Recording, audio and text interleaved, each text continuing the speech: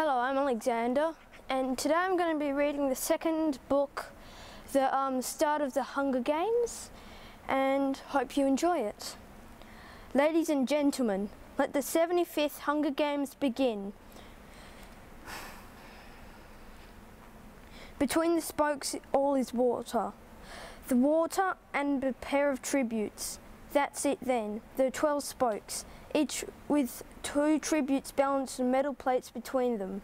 The other tribute on my watery wedge is Old Wolf from District 8. He's about as far to my right as the land strip on my left. Beyond the water, wherever you look, a narrow beach and then dense greenery. I scan the circle of tributes looking for Peeta, but he must be blocked from my view by the cornucopia. I catch a handful of water as it washes in and smell it. Then I touch the tip of my wet finger to my tongue. As I suspected, it was salt water. Just like the waves Peeta and I encountered on our brief tour of the beach in District 4, but at least it seems clean.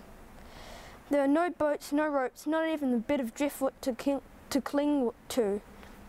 No, there's only one way to get to the cornucopia. When the gong sounds, I don't even hesitate before I dive to my left. It's a longer distance than I'm used to, and navigating the waves takes a little more skill than swimming across my quiet lake at home. But my body seems oddly light, and I cut through the water effortlessly. effortlessly. Maybe it's the salt. I pull myself, dripping, onto the land strip and sprint down to the sandy stretch for the cornucopia. I can see no one else converging from my side, although the gold horn blocks a good portion of my view. I don't let the, the thought of adversaries slow me down though. I'm thinking like a career now, uh, and the first thing I want is to get my hands on a weapon. Like last year, the supplies were spread out quite a distance around the cornucopia, with the most valuable closest to the horn. But this year, the booty seemed to be piled at the seven metre high mouth. My eyes instantly home on a golden bow just in, in arm's length, and I reach it and I yank it free.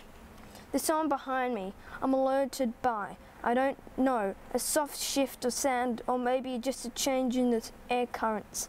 I pull an arrow from the stealth that's still wedged in the palm and I arm my bow as I turn. Finnick, glistening and gorgeous, stands a few metres away with a trident poised to attack. A net dangles from his other hand. He's smiling a little, but the upper muscles in his body are, too, are rigid in anticipation. You can swim too, he says. Where did you learn to swim where did you learn that in District 12? We have the big bathtub, I answer. You must, he says. You like the arena? Not particularly, but you should. They must have built it especially for you. Say I have an edge of bitterness. It seems like it, anyway, with all the water. When I bet only a handful of the victors can swim, and there was no pool in the training centre, no chance to learn. Either you come in here a swimmer or you better really be a fast learner. Even participation in the internal bloodbath depends on being able to cover 20 metres of the water. That gives District 4 an enormous advantage. For a moment we are frozen, sizing each other up. Our weapons, our skill.